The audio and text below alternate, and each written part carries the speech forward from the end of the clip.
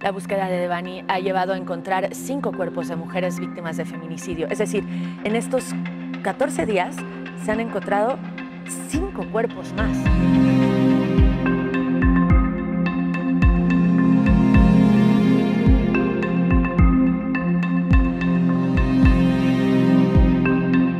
Cuatro de las víctimas eran menores de edad.